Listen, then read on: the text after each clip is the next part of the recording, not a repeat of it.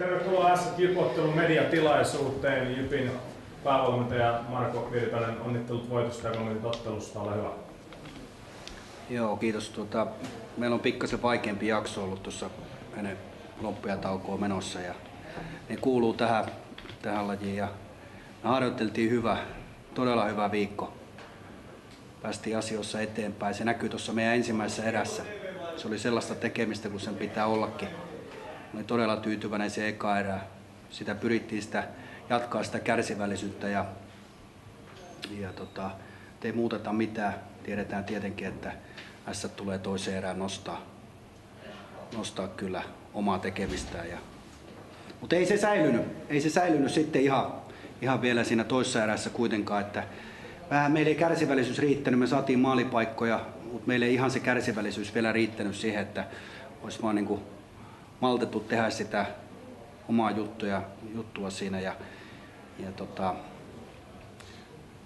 saatiin kuitenkin maali sitten, niinhän siinä käy, että hyvistä paikoista et saa maalia, mutta sitten kun se tulee se, tulee se tommonen niin vähän, vähän, vähän puoli perhonen sinne, mihin taas osua johonkin ja, ja sitten hukkua, hukkua tota Riksmanilta, että, et, tota, kolmanteen erään sitten, tää, nämä ei ole helppoja pelejä, tiedetään se, että pisteet on äärimmäisen tärkeitä meille ja, ja tol, niin kuin sanoin, tuollainen jakso mikä on, niin se, se tahto, mikä voi, niin kuin joukkue todella haluaa tehdä töitä ja voittaa sitä peliä, mutta sitten se, se rupeaa pikkusen aina siellä kaivertaa, että et miten tämä nyt sit päättyykään tästä ja, ja tota, vastustaja ei, tiedetään tilanne mikä on, vetää, nuoret kaverit vetää hyvin, pelaa tulevaisuudesta ja se kyllä näkyy tuossa näkyy tossa sitten Siltäkin.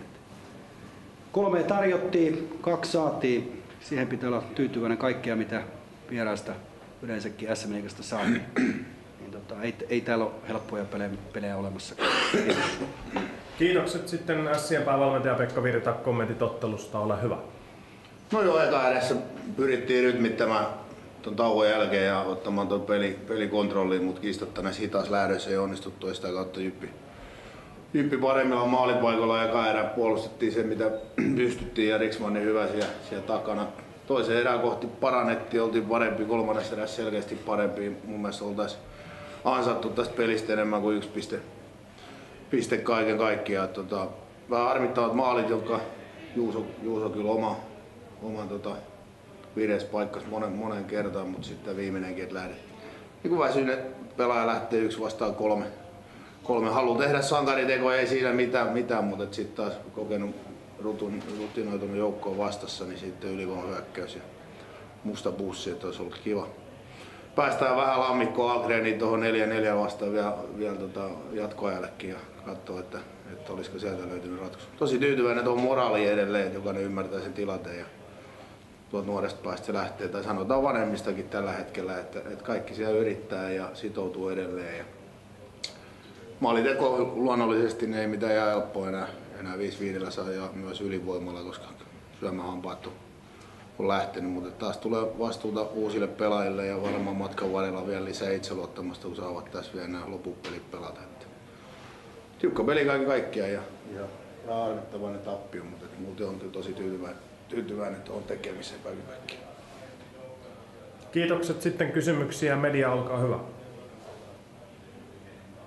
Selvä asiat tuli median osalta käsitellyksi. Kiitoksia päävalmentajat, kiitoksia lehdistö.